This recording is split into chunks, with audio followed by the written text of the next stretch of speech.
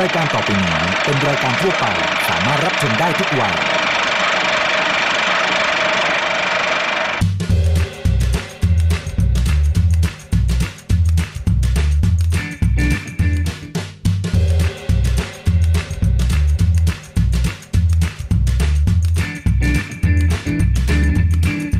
สนับสนุนโดยผลิตภัณฑ์ผลไม้ฟรุตเบรดและน้ำเชื่อมแต่งกลิ่นตราเนเจอร์เทส อากาศร้อนๆแบบนี้นะครับหนีไม่พ้นจริง ๆ ครับ กับเมนูขนมหวานเย็นๆนะครับ และเมนูขนมหวานเย็นๆแบบไทยๆนะฮะก็ต้องจ้ำบะนั่นเองแหละครับ ชื่อว่าเมนูจ้ำบะมะม่วงครับ และความพิเศษของเรานะฮะก็คือจะใช้ butter cake อันนี้แหละครับแทนขนมปังครับโอเค เบื้องต้นนะครับ เราหั่นครึ่งก่อนเลย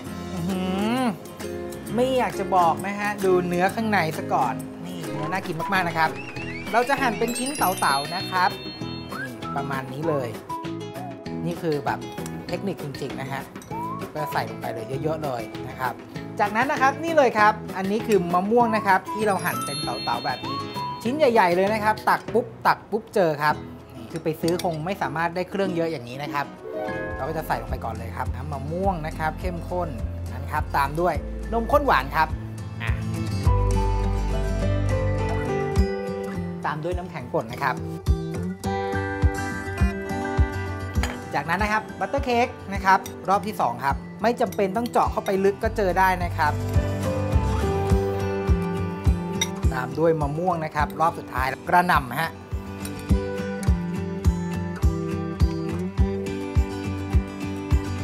เอาละครับหลังจากใส่น้ำแข็งลงไปนะครับ เพิ่มความสวยงามแล้วก็รสชาติที่หวานอร่อยนะฮะมะม่วงนะครับสกู๊ปแบบนี้วางลงไปครับ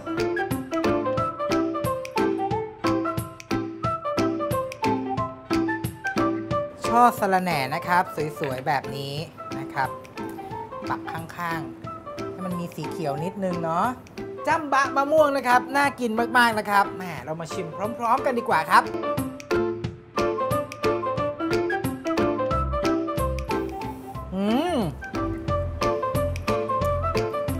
ม่วงเนี่ยมันมีความหอมความหวานอยู่แล้วนะครับ ยิ่งเราได้มาทานคู่กับตัวน้ำมะม่วงเข้มข้นนะครับ มันก็จะยิ่งแบบเสริมกันนะครับ มันก็จะยิ่งแบบมีความหอมมากขึ้น แล้วก็อร่อยมากขึ้น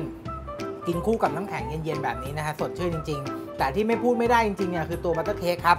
ปกติจัมบะเนี่ยมันจะเป็นขนมปังเนาะมันก็จะมีความอร่อยเป็นเอกลักษณ์อยู่แล้วล่ะก็คือขนมปังที่แบบฉ่ำนมฉ่ำน้ำหวาน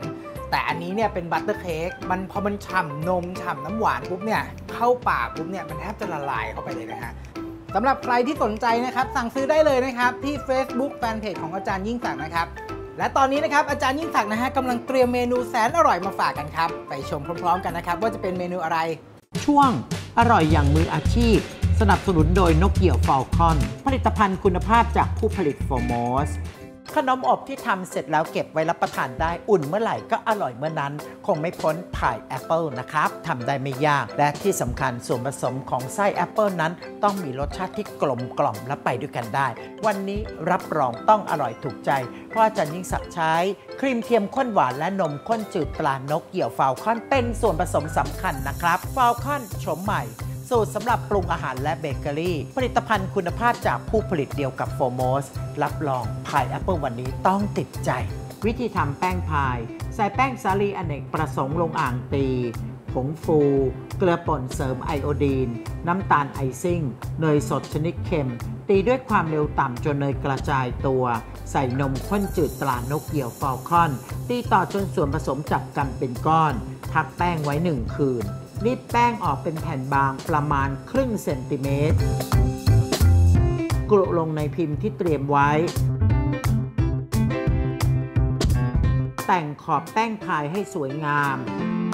ใช้ซ่อมเจาะรูให้ทั่วนำเข้าอบที่อุณหภูมิ 400 องศาฟาเรนไฮต์หรือ 200 องศาเซลเซียส นานประมาณ 15 นาที หรือจนกระทั่งสุกนำแป้งพายส่วนที่เหลือ มารีดให้มีความหนาครึ่งเซนติเมตร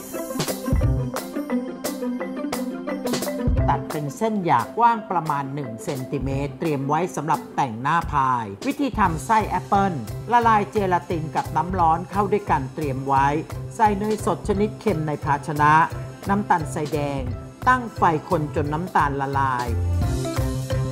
เติมครีมเทียมข้นหวานตรานกเหยี่ยว Falcon เคี่ยวส่วนผสมจนเดือดและงวดลงเล็กน้อย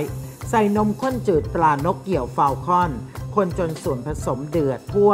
ลดไฟอ่อน เติมแป้งข้าวโพดที่ละลายน้ำคนจนส่วนผสมเดือดทั่วอีกครั้ง ปิดไฟ ใส่อบเชยป่นแอปเปิลแดงแอปเปิลเขียวที่หั่นเป็นชิ้นเตรียมไว้ก่อน เจลาตินที่ละลายไว้ คนให้เข้ากันดี ตักไส้แอปเปิลลงในแป้งพายที่อบสุกจนเกือบเต็มนำแผ่นแป้งที่รีดไว้ วางไขว้กันเป็นลายตะข่าย นำเข้าอบอีกครั้ง ที่อุณหภูมิ 400 องศาฟาเรนไฮต์หรือ 200 องศาเซลเซียส นานประมาณ 10 นาที ก่อนเสิร์ฟโรยหน้าด้วยไอซิ่งที่ผสมกับอบเชยป่นให้ทั่ว ตกแต่งด้วยช่อสะระแหน่ให้สวยงาม เพียงแค่นี้ก็พร้อมรับประทานแล้วล่ะครับ คุณผู้ชมสามารถติดตามสูตรความอร่อยและความรู้มากมายได้ที่ www.falconforprofessional.com นะครับ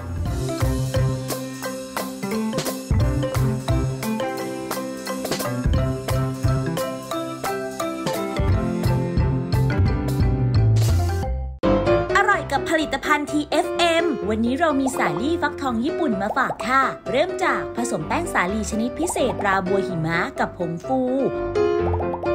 ผสมเข้าด้วยกัน ใส่น้ำลงในภาชนะ น้ำตาลทราย สารเสริมสำหรับทำเค้ก ตีด้วยความเร็วสูงสุด 2 นาที เติมไข่ไก่ทีละฟอง